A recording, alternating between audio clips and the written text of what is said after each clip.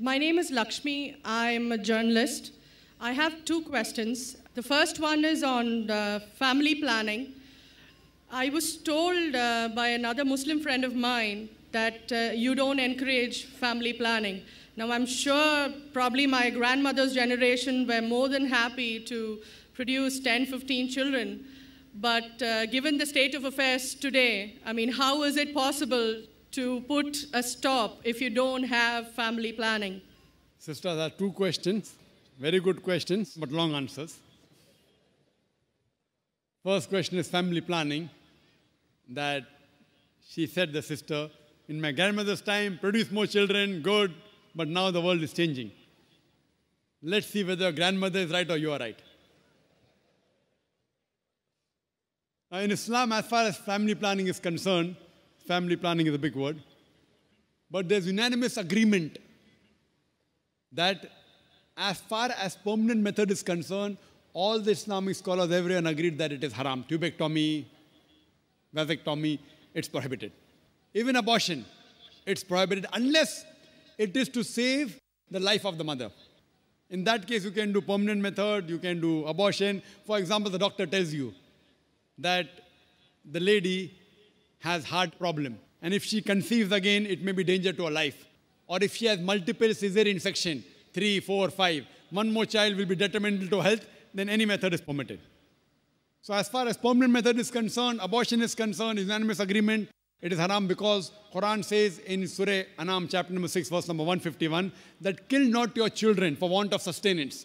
For it's Allah subhanahu wa ta'ala, Almighty God, who will give sustenance to you and your children.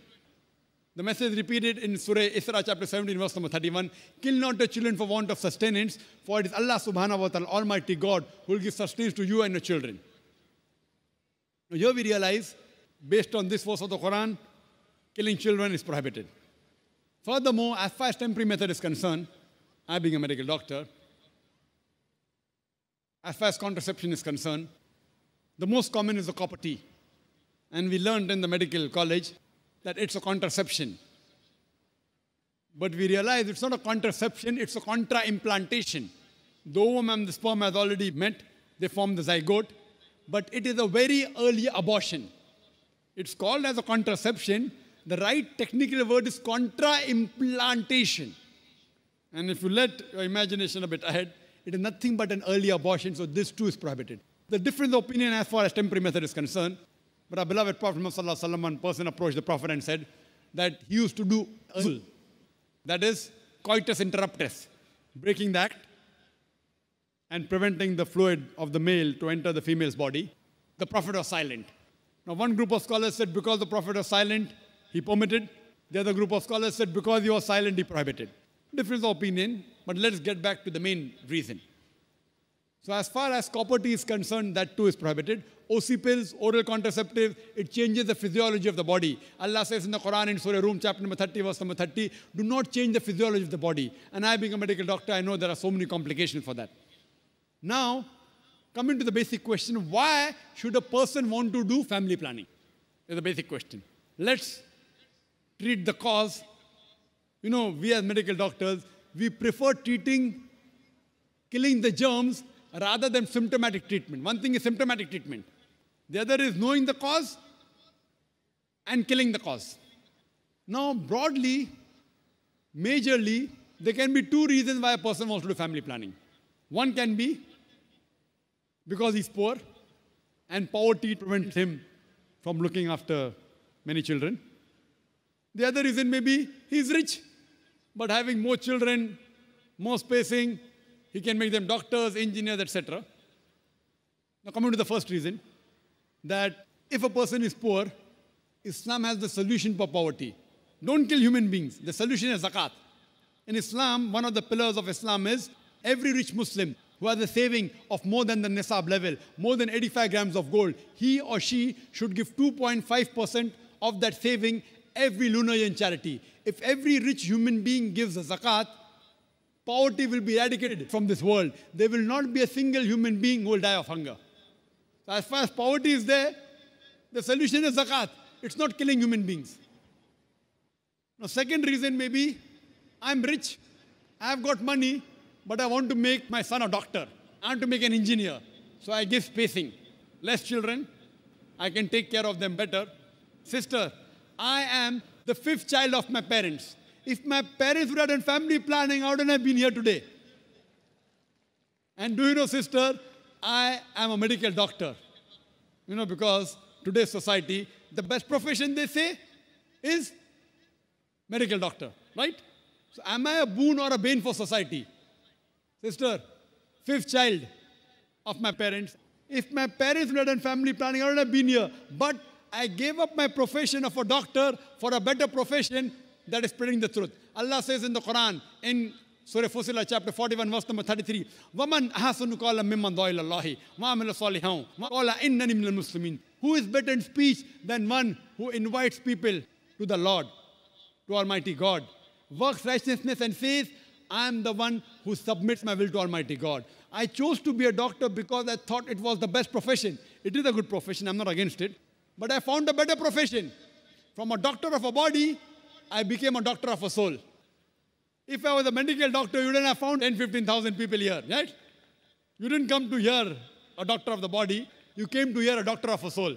So when I found a better profession, I changed from a doctor of a body to a doctor of a soul. So am I a boon or a bane for society? So it's a fallacy. As far as spacing is concerned, Almighty God has given a natural spacing known as lactation amenorrhea, breastfeeding. The moment you breastfeed, automatic there is spacing. But today's modern women, they don't want to breastfeed because they will lose their figure. Almighty God has given lactation amenorrhea. So now, there is a fallacy what people think that if you have less children, you can educate them better. If you analyze and check the history of the Nobel Prize winners, all of them were not the single child. Many were second child, third child, fourth child, fifth child. They were Nobel Prize winners. They were intelligent. So it is a misunderstanding. That's the reason the Quran in Surah Anam chapter 6 verse 151 and Surah Isra chapter 17 verse 31, it sounds similar. The first verse Surah Anam chapter 6 verse 151 says, Kill not your children for want of sustenance, for it is Allah subhanahu wa ta'ala Almighty God who will give sustenance to you and your child. This verse is referring to the poor people. That if they have one more child, even I will die and my children will die. The next verse of Surah Isra, chapter 17, verse 31, the order is reversed.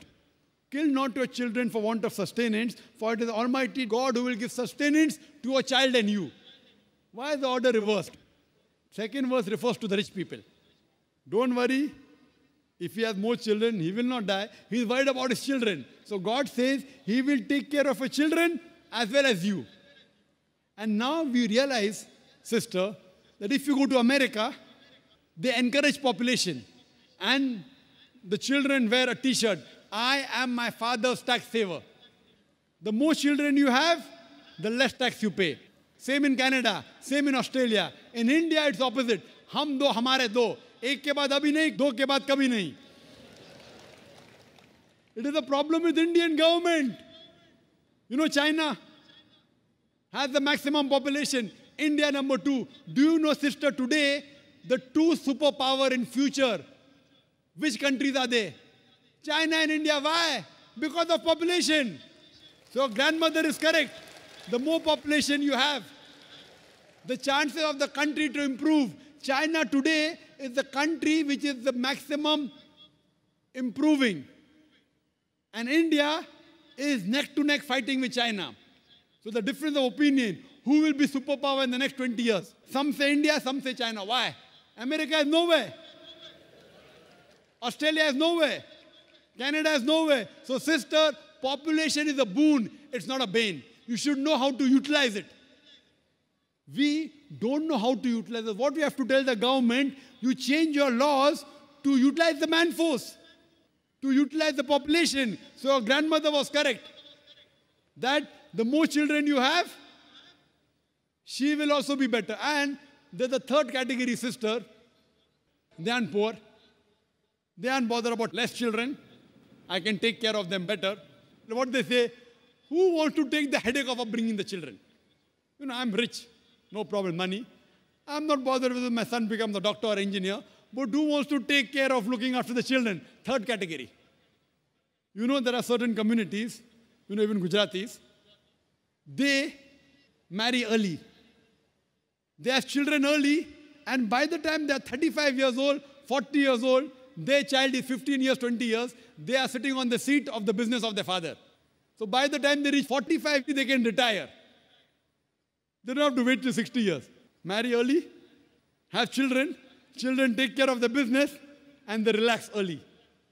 So even the third category, if they want to enjoy life, it is better they marry early, they have children, they take care of the business, they'll enjoy life better. So that's the reason, as far as planning is concerned, Allah says in Surah Al-Imran, chapter number 3, verse number 54, Makru makrallahu wallahu khairul makirin. They planned and plotted. Allah too planned. Allah is the best of planners. So if you feel Almighty God can plan your family better, leave it to Almighty God. If you can think you can do better, the choice is yours. I believe in Almighty God. I let Him plan my family. And that's the reason I'm here.